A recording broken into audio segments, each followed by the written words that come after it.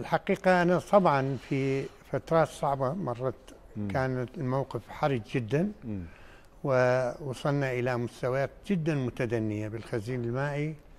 إلا أنه الحمد لله. أثناء فترة استيزارك الحالية. أي بداية مجيئي للوزارة كان الموقف شديد الحراجة.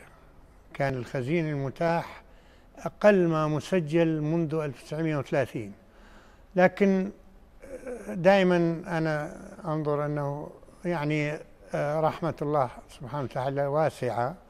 فبالتأكيد من بدأت الأمطار تتساقط وبدأت آه، احتياجاتنا المائية نتيجة تساقط الأمطار في منطقة الوسط والجنوب. وهي المناطق المروية لأن الري عندنا في وسط وجنوب العراق. بالشمال ما عندنا حاجة كبيرة للري محدودة يعني لأن هي منطقة رطبة. عموما.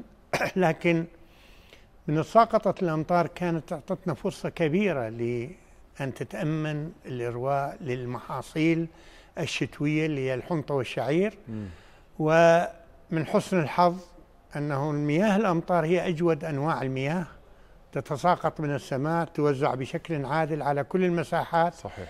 ناتج الغلة كان رائع هذه السنة وهذا ما حدث فعلا وبدأ الموسم الحصاد حاليا. هذه أعطتنا فرصة أن نحافظ على الخزين ونبنيه في خزون في سدودنا وخزاناتنا. يعني بدل أن نطلق المي لأغراض الري بدينا نخزن الخزين ونمى الخزين بشكل جيد بالوقت الحالي وتغيرت الحالة.